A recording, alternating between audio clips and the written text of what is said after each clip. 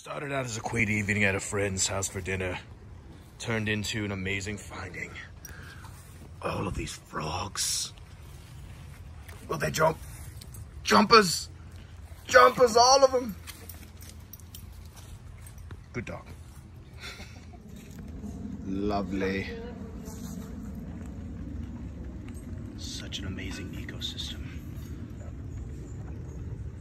Notice the plants, vegetation on its back. Protected. Some sort of salve, I'm sure.